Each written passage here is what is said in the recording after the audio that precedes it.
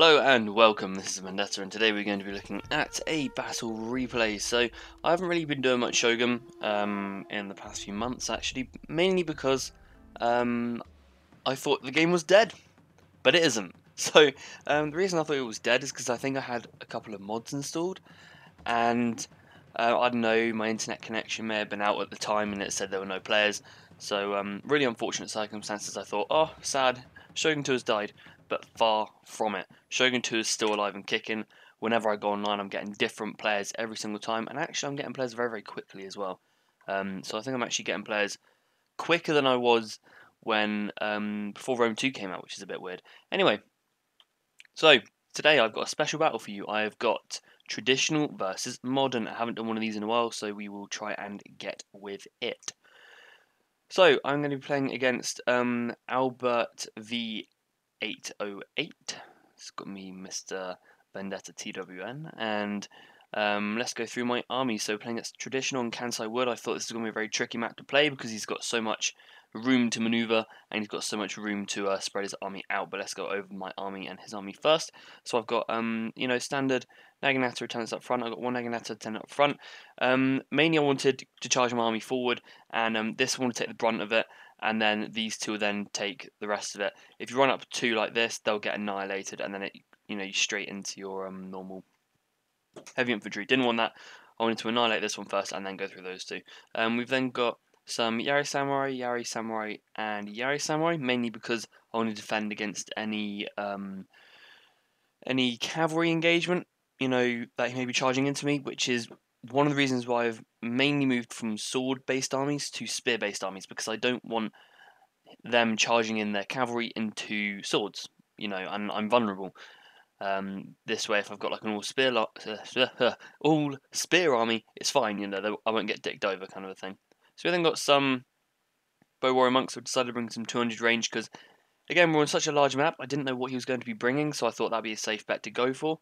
We've then got some bulletproof samurai, Yari Samurai, and some more Yari Samurai. So I've got about five Yari Samurai, surprisingly, um, and they've all got really, really heavy stats. Bulletproof, of course. Um, and then a cavalry, we've got um, obviously my general who is a leadership gen. We've got light cav, light cav, light cav, so three of those guys. We've then got um, a Yari cav and a fire cav.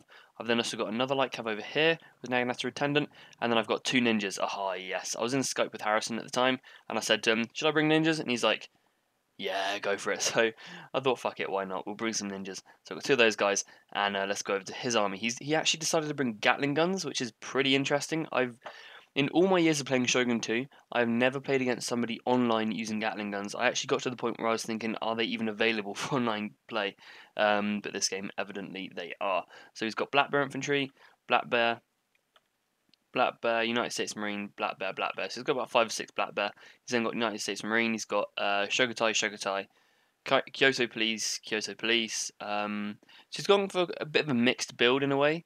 I probably would have taken out these Gatling guns because they're not really going to be too useful. Although um, you will see a pretty cool charge later on.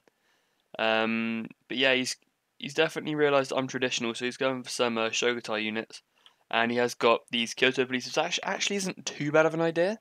Although I, if you are going to go for any spear defense, I would generally go um, spear levy. However, I would never spend money on um, melee units on Fall of the Samurai. I would just try and spam as much line infantry as I can. Um, the more guns you bring to a Fall of the Samurai game, the better you're going to do.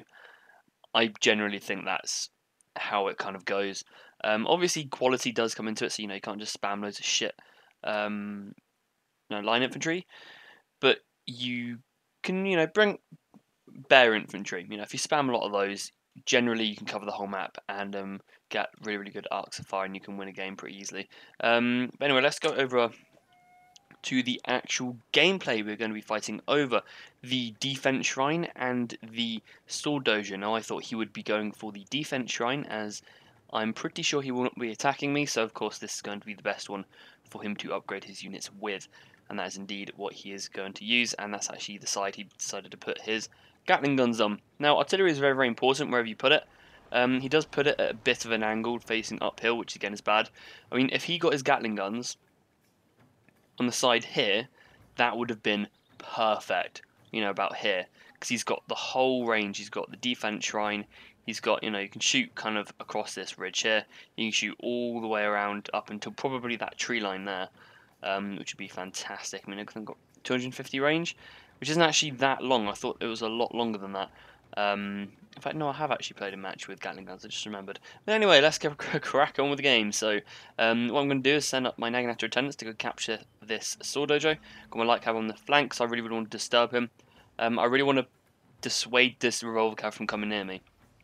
That is the main reason I bought this light cav over here because I thought if I have my light cav, um, then any gun cav you may have is not going to work against those Naginata attendants because he's not going to want to, you know, be at the mercy of these light cav because they're obviously going to be able to chase him down. Um, I then pull over my fire cav over here, my general, because I do realise he's starting to stack on this side and I want to make sure I get this sword dojo. If I let him swing round on me, that is a bad thing. That is a very bad thing if you're uh, traditional, because there are kind of two ways you can play in traditional. You can either go for an all-out bum rush, where you use ninjas or stealthy units or whatever um, to initiate, and then you just steamroll with your army. That's the usual way that I will play a match. Or you can do kiting, which is extremely difficult, but you can do it pretty effectively. In fact, I'd say it's easier to kite a traditional army than it is to kite. No, easier to kite modern army than it is traditional. Go the other way around there. Um, this is purely because um, Fall of the Samurai don't have many 200 range units, as I remember. I'm pretty sure 150 is generally the range at which they go to, you know, minus the general, which I think does actually go um, a bit further than that. I can't remember whether um, the general goes further than 155, but um, you know, I mean, I love that 155 with a revolver, nice. But um, yeah, they, you can kite them pretty easily with like bow uh, warrior monks, and I have had that done to me before. Unfortunately, I deleted the um, the replay to that, um, but that game was like two years ago, unfortunately. But if I had that, I would have definitely showed it because it was fantastic. Um, the guy was just kiting me massive, and I was playing modern, he was traditional, so um, shame we didn't get to keep that, but it would have been great to view. So I'm going to pull my cavalry around the flank because I do not want him to um, just be in one straight line. It's important if you're ever a traditional player, you do not want um, you know their arcs of fire covering very well. The arc of fire is basically if you've got a gun unit, they've got that you know the red arc of fire you know the kind of range at which they can shoot. Um, you don't want them overlapping. That way you can take out individual units. So for example, this unit is completely isolated. You know, that has got nothing covering his flanks apart from this revolver cav, which isn't really going to do much. So if I went for a full out cav charge, I could easily just wipe out this flank, you know, with no real difficulty. No, but the fact that I'm getting just light cav around the back, you know, he's having to fold his flanks up, he's having to take units off the front line, I could just flat out charge him right now if I wanted. Um, but he's actually going to make a move for the workshop. Now the reason I kept my my units in the forest is because I didn't want them being shot by the Gatling guns. Um, I was planning on kiting him a bit more, and then um, obviously he would then charge forward, and I would then bum rush him. That was the general idea. However, I have actually managed to pull off a pretty good move. I've got my ninjas up here, I pull down my Yari Cav to bait him in a bit, and he has taken the bait beautifully. The spears go down, the Cav go up, and the ninjas are about to rape hard. So the ninjas then run in, all of a sudden they've been discovered, and you should see um, multiple Kyoto police heads rolling down the hill. Um, you know, a few of my ninjas are dying. You know, I think they do lose six on the charge, which they do. However, you can see the kills just absolutely racking up hard. Over on this flank, he did manage to get a few kills off of my light cav with that um, General's bodyguard, I think it was. He's now going to be charging his Kyoto police into my light cav. Um, he carries on charging, so obviously my general being a melee general, he hasn't got a uh, penalty against spears, so goodbye Mr. Kyoto police on that side, goodbye Mr. Kyoto police on that side, and he is now without any spear support. Now he's going to be pulling over his um, revolver cav, so I start taking some nice pot shots at it with my bow Warrior Monk, and um, I do manage to take two of them out. I think that's pretty much it. Um, I then charging on my Yari Cav down the hill to try and push these guys away. I'm not going to chase, of course, because otherwise I would be chasing into Black Bear line infantry fire, which I do not want, of course. Now I'm going to be pulling back my light cav because, of course, these guys did get shot, as I mentioned, by his general. Um, I'm going to be pulling these guys back, and I really want to hit this black bear in the back because that'll do that'll cause so much disruption. Um, that means I can then charge these two cav units forward in a light cav and my general, and I've also got my fire cav hiding in the corner here, so I can pretty much mop up this whole entire flank just from this charge here. Unfortunately, I don't quite get it off as I wanted. I did a move order and then I did the, there you go, I did the move order and then I did the attack, which was bad, and they're just gonna like, beat the crap out of that. However, I am now going to charge with all of my cav, and I do swing my cavalry round, you know, in an arc rather than charging straight forward. This unit, I'm just going to charge straight. There's Black Bear over here. Um, this light cav, I don't even know what it's doing. It should be coming back in a second. Um, I put this light cavalry over on this flank.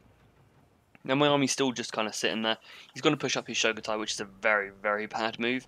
You'd never want to be engaging a traditional army within Forest if you're playing as modern. It's a bad idea, never do it. Um, especially just with two units against, you know, like five um, Yari Sam Bulletproof, um, and basically everything. In the known universe hiding in the forest, you, do, you don't really want to fight it with two Shogitai units and United States Marine. So I pretty much just swipe through this whole flank, and um, I've killed his general at this point as well. There we go, his general is now fallen, and I'm going to carry on charging straight through to this United States Marine, um, and pretty much he's just got this little box in the corner. Um, the light cav is now going to charge into the revolver cav. It's going to mess up this revolver cav.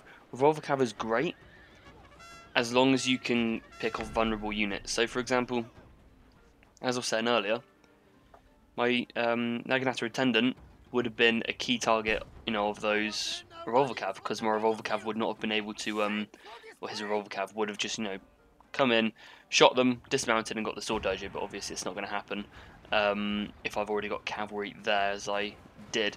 Um, the Gatling guns did shoot, and they managed to take out a few of my horses.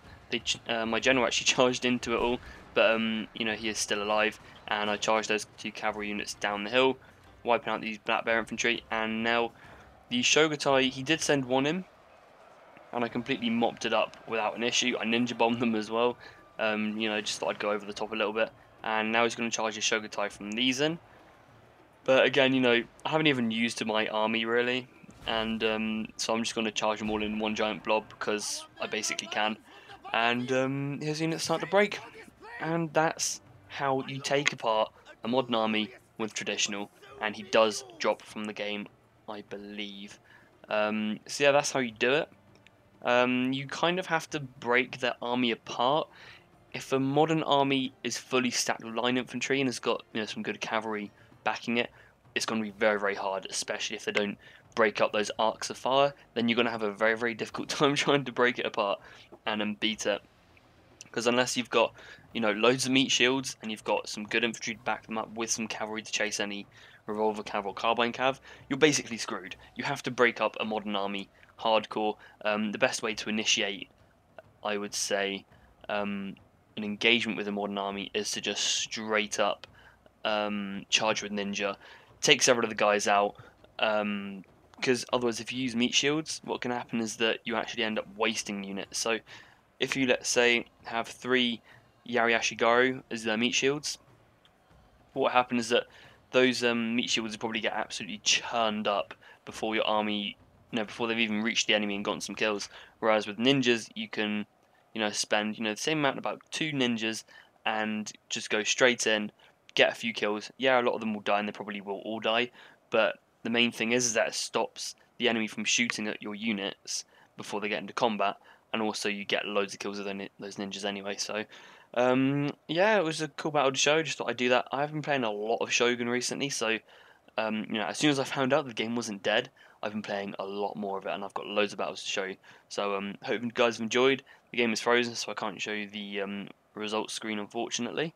Um, but yeah, hope you've enjoyed, and bye bye for now.